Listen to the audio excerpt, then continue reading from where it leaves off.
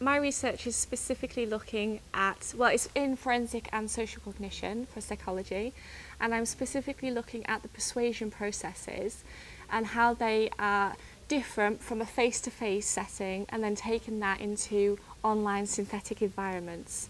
So looking at whether people are persuaded online and how that process evolves. In terms of excitement, I think actually going out and doing the research yourself and knowing it can hopefully help and be applied into the real world. That's really exciting for me.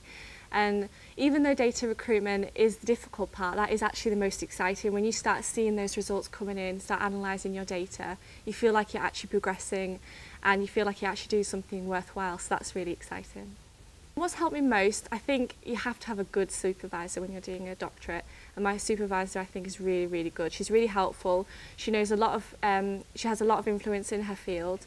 So I, th I think she's my main help in terms of throughout my PhD, but also the uni, they're really supportive. They offer lots of workshops to develop your skills.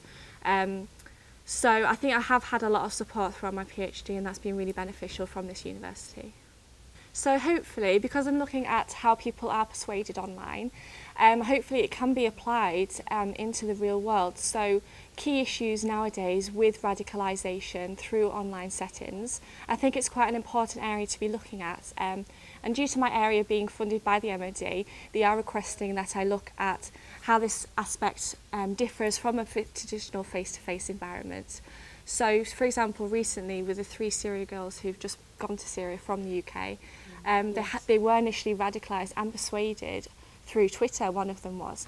So I think that's quite interesting to hopefully apply my research and to understand key aspects of that and why people become persuaded online and see if we can develop some sort of technique to maybe prevent them from being persuaded or help hope, help people to be persuaded in a positive way. Mm. So, you know, through health management, management key issues and things like that. So.